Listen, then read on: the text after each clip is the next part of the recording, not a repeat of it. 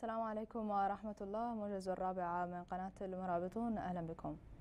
أشاد حزب الاتحاد من أجل الجمهورية الحاكم بالخطوات التي قال إن موريتانيا قطعتها على درب تجذير وتطوير حرية الصحافة وغيرها من الحريات العامة وحقوق الإنسان. وعبر الحزب في بيان صادر عنه عن تمسكه بمواصلة الإسهام الجاد في ترقية وحماية المهنة الصحفية والدفاع عنها وعن العاملين فيها. قال وزير التجهيز والنقل وزير العلاقات مع البرلمان والمجتمع المدني وكالة سلكو والأحمد زيد بيه أن حرية الصحافة تعتبر مصدر اعتزاز ومدعاة لاستحضار المسؤولية. وأضاف والأحمد زيد بيه لدى إشرافه على افتتاح الفعاليات المخلدة لذكرى اليوم العالمي لحرية الصحافة أن الصحافة من أجل أن تكون ضامنا للسلم وأداة لتحقيق التنمية لا بد لها من التحلي بالوطنية. قال نقيب الصحفيين الموريتانيين أحمد سالم والمختار السالم إن النقابة سجلت خلال العام المنصرم تسع حالات بين اعتداء وتوقيف واستدعاء للصحفيين للتحقيق معهم.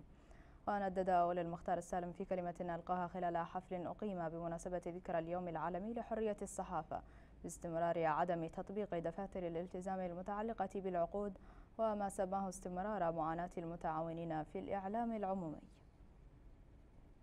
دعا رئيس اتحاد الإذاعات والتلفزيونات الخاصة في موريتانيا محمد محمود لبو المعالي إلى ترسيخ مستوى الحرية الصحفية في البلد وتوسيعها والعمل على ترشيدها.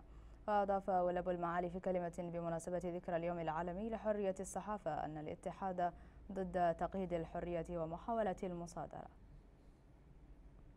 أصدرت وزارة الصيد الموريتانية قرارا يقضي بتوقيف الصيد الصناعي إذانا ببدء الراحة البيولوجية لمدة شهرين. القرار الذي وصف بالمفاجئ يأتي قبل أسبوعين من توقيف مرتقب للصيد التقليدي. كما يأتي وفق مصادر في وقت كان ينتظر فيه تمديد الراحة البيولوجية للصيد الصناعي إلى غاية منتصف مايو الجاري. يرتقب أن تحتضن العاصمة المالية باماكو منتصف شهر مايو الجاري مؤتمرا للمصادقة على اتفاق سلام مشترك بينها والحركات الأزوادية يأتي ذلك وسط معارك شهدتها بعض المدن في الأيام الأخيرة بين مقاتلين من منسقية الحركات الأزوادية وعناصر من الجيش المالي ودعوات أممية إلى وقف إطلاق النار والضغط على المنسقية من أجل التوقيع على اتفاق السلام.